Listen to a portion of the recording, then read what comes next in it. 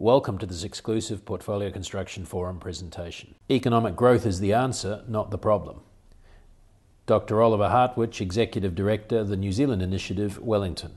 This presentation was recorded in Auckland on 19th of May as part of Portfolio Construction Forum Symposium 2015. In the past, I've spoken to you about uh, the global economy, I've talked about Europe, I've talked about capitalism. Today, I'm talking about a book. And this is the book, The Case for Economic Growth. I'm glad you're all still here, of course, because uh, after the previous session, I thought you might have all gone to the beach.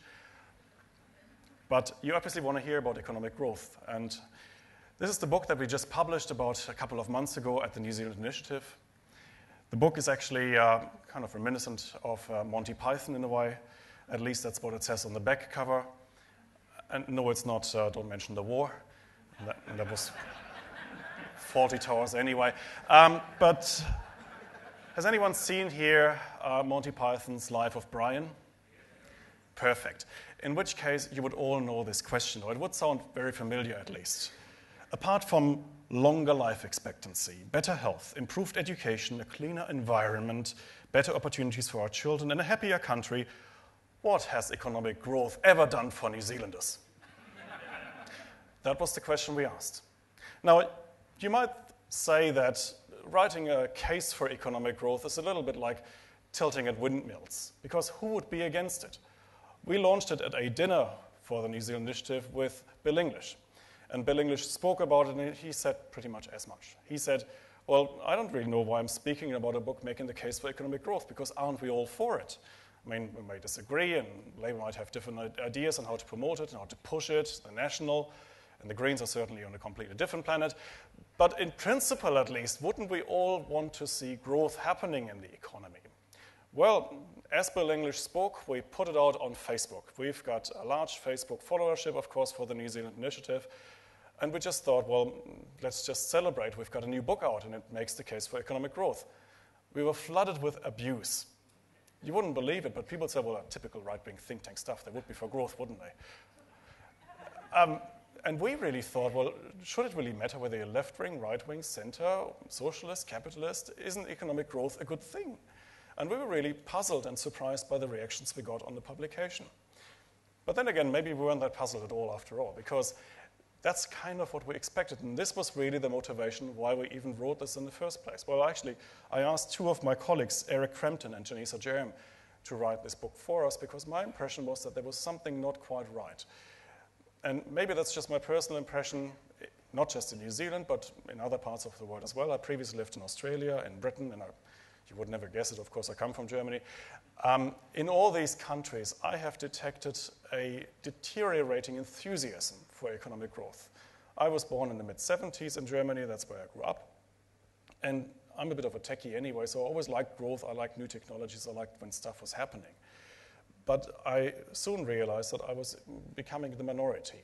And what happened, I think, especially when I think of my own childhood and youth in Germany, was that increasingly got these negative stories about economic growth, and typically with a bent on the environment, referring back to uh, some environmental disasters and some technological disasters. And I think the one thing, the one event that really questioned the whole growth narrative in the European case was Chernobyl when this nuclear power station blew up in the Soviet Union and the fallout came over and we couldn't actually harvest stuff anymore for a few weeks because we had the fallout there in our gardens. Around the same time, the Germans got very concerned about the dying of the forests. There were forecasts in the early 1980s that by the mid 1990s there would be no forest left in Germany and all the trees would have died because of acid rain. Then we had years when we had a few um, chemical disasters and um, they polluted some of our rivers. So in one of the years, there were practically no fish left in the River Rhine because of that. And so there were a lot of these environmental concerns, global warming, of course, um, that caused people to rethink whether economic growth was a good thing. And not just that, we then had an, a second wave of growth skepticism in the 1990s, and I think that was felt certainly beyond Germany, beyond Europe, also here. And that didn't focus that much on the environment anymore. It focused on something completely different. It focused on happiness. So uh, people were arguing that, yes, you may all care for GDP growth, but really, why? Does it really make you any happier if an economy grows? And shouldn't we just look at some other examples, maybe Bhutan, some esoteric countries where they've apparently found a formula to make everybody happy even though they will stay poor? And you may remember that at the time, the French president, Nicolas Sarkozy, actually even put together a commission to really investigate how a gross um, happiness index could look like for France. I always thought that Nicolas Sarkozy was just doing it because he didn't have any growth figures to report. But um, anyway, for France, that might have been an alternative um, uh, that was quite attractive. So that was a second wave of growth criticism. And then we recently had a third wave. And the third wave of growth criticism was yeah, yeah, okay, maybe it doesn't quite damage the environment as much as we thought, and maybe it still makes you kind of happy, but there's inequality. And the whole of last year was, of course, dominated by Thomas Piketty and his book Capital in the 21st Century. So Piketty basically makes the case yes, the economy is growing and capitalism probably delivers, but at what expense? Basically, at the expense of the poor. So we might get some economic growth, but it flows to the 1%.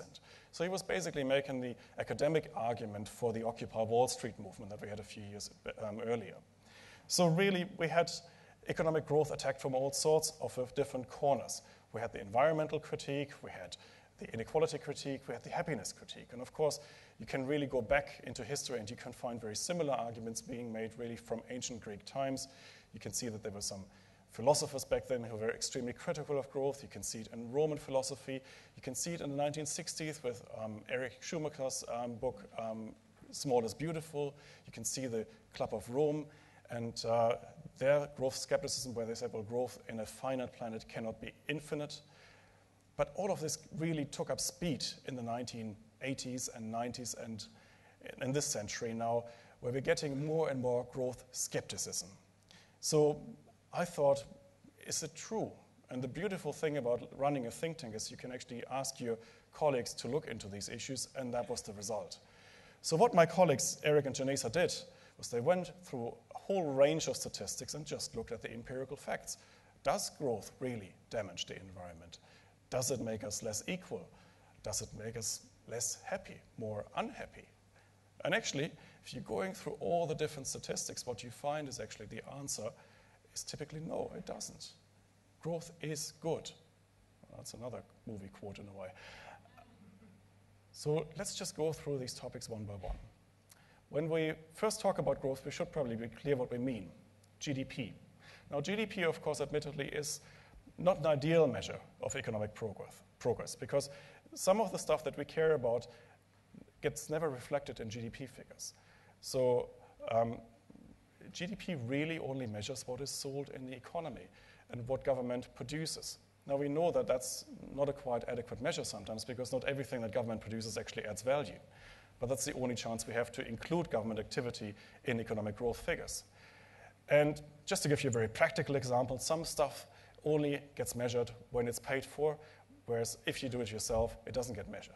If I make my breakfast at home and I make my own sandwich, that doesn't enter GDP figures. If I go to a cafe and get the same sandwich over there, I pay for it and it gets measured as GDP. And so a lot of the stuff that we care about in the economy, for example, when we um, deal with um, families, when um, mothers raise their children, for example, and stay at home for a few years, that is valuable, of course, but it doesn't get measured. So there are some problems with GDP, and I'm the first one to admit that. Having said that, it is still a useful shortcut to understanding what's going on in the economy. And you can realize how useful a shortcut it is when you actually put GDP and combine it with different other social outcomes. And you can look at it on a website called Gapminder, where you just put GDP figures next to other socially desirable outcomes, education results, life expectancy, immunization rates, whatever you want, you kind of compare how GDP correlates with these other outcomes. And what you typically see is that an economy that produces higher GDP rates, higher GDP growth rates, typically does better on all these other measures as well. And that's a great thing. So, in a way, yes, we can admit GDP is perhaps not quite perfect, but it is a shortcut to understanding what's happening in markets. It is a shortcut to understanding what's happening in society. And typically, from all the empirical evidence that we see, it is pretty clear. Rising GDP is a good thing because with rising GDP come all sorts of other things. We get better education results, we live longer lives, we live more fulfilled lives. we just get better at a whole raft of social things that we care about. Now, to the three main criticisms about the environment, about inequality, about happiness.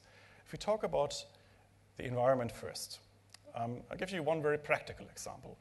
When the United States and Mexico negotiated about a free trade agreement between the two countries, there were opponents of the free trade agreement in the United States arguing that this would be a complete disaster for Mexico because Mexico, in the end, would just pollute the environment. All sorts of polluting activities of US companies would be outsourced to Mexican companies. And in the end, yes, they might get some economic growth in Mexico, but at the end of it, Mexico would be a polluted country. Some of that actually happened, but maybe just for a couple of years. Because what typically happens when it comes to economic growth and the environment is what economists call a Kuznets curve. What it means is that things first get a little bit worse before they get a lot better. And how this works is, in the case of Mexico, that you outsource a lot of production. And yes, you created some negative environmental consequences. But then the locals actually demanded, with rising incomes, that the government takes better care of the environment. And they just demanded better regulations. They demanded stricter environmental controls. And this is what's then pushing governments to legislate for that. And so the stronger an economy grows in the long run, the cleaner the environment gets. And we can see this now uh, when we're looking at China. China, of course, has a massive problem, especially with air pollution. But as China gets richer, as, as its people get more affluent, they will be demanding for a cleaner environment, and therefore we can expect exactly the same development to happen in China as well. Economic growth is good for the environment. You compare my home country, look at what um, socialism did to East Germany, where there was practically no growth for decades, and how the environment was exploited, and compared to, compared to West Germany, where, of course, it wasn't perfect and you had occasional problems, but there was enough income generated to actually mitigate these environmental problems. And so, in the end, you got better results on both fronts. You get better economic growth figures and you get better environmental results. We believe there is a strong case to be made based on good empirical evidence that economic growth doesn't harm the environment, it actually helps us to protect it. So, we think you don't have to be concerned too much about the environment. You don't have to be concerned about finite resources either. Because what we do, of course, in markets is we figure out which resources become scarcer over time. This is why we had the oil shock in the 1970s. Suddenly, oil prices went up because the, um, there was more demand and less supply for oil. This is how markets deal with scarcity. So, in our worldview, we really never run out of any resources completely because before we even run out, we would actually price these resources out of use. This is what economic growth also does. Now, when we talk about happiness, happiness is, of course, desirable. We all want to lead happy lives, but really, it is not that easy to measure. Typically, what happens when you measure happiness, you're asking people, How satisfied are you with your life? And then you give them a scale from 0 to 10. And typically, people say, Well, yeah, 7, 8. And that's the median answer in practically all of these surveys, no matter where you take them. First of all, you might just ask a few questions. Is it really that likely that if you are the happiest person on the planet and there's nothing wrong with you and you're really full of optimism, you would only be two notches above the median? That's not quite intuitive, I would say.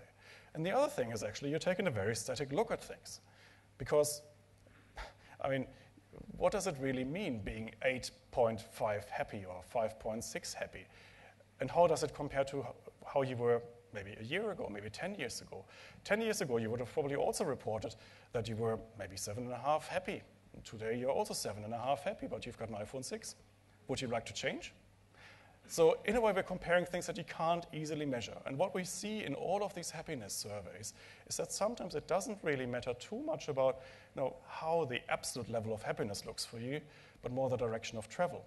What I always find fascinating traveling to developing countries is that you meet people who are remarkably optimistic, who are really full of enthusiasm, who want to develop. And if that happens in economies that are on a per capita terms, on per capita terms, relatively poor but developing, you can see where this optimism is coming from.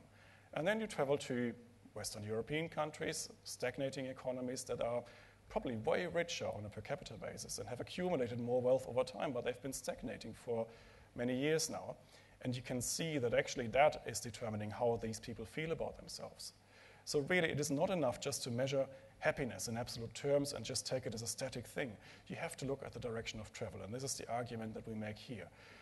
We find that economies that grow actually have a, population that is way more content with life. Economies that stagnate actually also risk political instability because once an economy stops growing, of course, what you do have to do is, as a politician, you have to kind of divide um, the pie and you have to slice the pie and actually redistribute what you've got, but you can't actually share the proceeds of growth, which is much nicer. And so you're creating winners and losers in a stagnating society, and that creates a lot of discontent.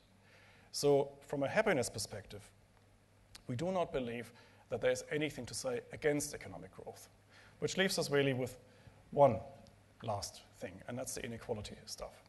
Now, Thomas Piketty, of course, had a lot to say about inequality. A lot of the data that he cites is American, and we think, well, first of all, there is a massive difference between New Zealand and America. You can't easily compare these two countries because, for example, and for a start, we do not have these big wage differentials between CEOs and average employees that we find in a lot of American companies, but we don't find them here, not to the same degree. So, in a way, this whole inequality argument that we often hear doesn't quite apply to New Zealand as much as it does apply to the United States. And then we went through the data again and we had to look what economic growth actually did in the New Zealand case. And you might be very surprised to hear that from 1953 to 2011, for which we had data, the top 10 and top 1% of society became about 50% richer on average, which is nice. And then you realize that the bottom 90% actually doubled their income in real terms. So actually, it is the bottom 90% that are doing a lot better rather than the top 1 or top 10%. So, in a way, that seems to suggest to us that we do not have the same kind of inequality problems in New Zealand, and economic growth has actually benefited everybody. Um, you can look at it in completely different ways as well. Um, one of the best comparisons I have seen in recent times was at a conference in Hong Kong where an American professor just took us through a 1970s version of a Sears catalog so a mail order catalog, and he just um, explained, well, this is the kind of stuff that you could buy back then, and this is how long it took uh, uh, someone on the minimum wage to, to basically work for that and earn that. And then we did a product by product comparison. What was a suitcase like in the 1970s? What is a suitcase like today? Not only did the suitcases, for example, become cheaper over time in the sense that you didn't have to work as long as you used to in the 1970s, but actually, our suitcases were a lot better. They had wheels for a start. So um, they were a lot more durable. They were a lot more attractive. There were actually certain varieties now of suitcases you could choose from. So that's what economic growth also does. So when you're comparing inequality, keep in mind, not only is it not a problem that apply, does apply to New Zealand, keep in mind that actually even if you're relatively poor, if you're in the bottom 20% of society, you would probably still enjoy a way better standard of living than you would have in the 1970s. So we think if you're really looking through all of the evidence, and we have done that, it's really an entirely empirical report where we're just going through loads and loads of data. You can find that growth doesn't destroy the environment. Quite the opposite. We think it's the answer to environmental problems. Growth doesn't make us unhappy. Quite the opposite. We think that actually growing faster makes you happier still. And growth doesn't cause inequality problems. Growth actually is something that helps us as a society for everybody, for everybody to get better better off over time. But if that's the case, well, what do we do about it? We think we should celebrate growth, and we don't have that culture in New Zealand, unfortunately. When uh, Robert asked you whether you want to go back to the beach or whether you're just satisfied with your life, I mean, I, I can sympathize with that because we've got a great quality of life. But still, I think we should become a lot more ambitious because growth is good, and if you're really thinking that you could stand still and just enjoy what you have, you're falling behind because other countries, other nations are probably just a little bit more ambitious and they will make our lives very hard and very difficult if we just let them reap the proceeds of growth and we'll just prefer to remain stuck where we are. So if we care about growth, we really have to talk about the policies that would make us grow further. And in the last chapter of this publication, we had a quick look at the literature again, suggesting what are the basic settings that would make an economy grow faster. And there we are quite clear, because we have very good evidence that strict strong property rights, an independent judiciary, strong um, economic and political institutions, lack of corruption, um, and of course, small government contribute to economic growth. We know, for example, from empirical research that as the government consumes 10% more of the economy, it typically slows down economic growth rates by between 0.5 and 1% per year, which of course adds up over time. So, in summary, we think growth is good. We think it has done a lot for this country, and we would like to see a lot more growth happening in the future. And with this publication and all the other publications at the New Zealand Initiative, we're contributing to this debate. Thank you for listening. For more information about Portfolio Construction Forum, Symposium, and Symposium 2015 Resources Kit, please visit portfolioconstruction.com.au.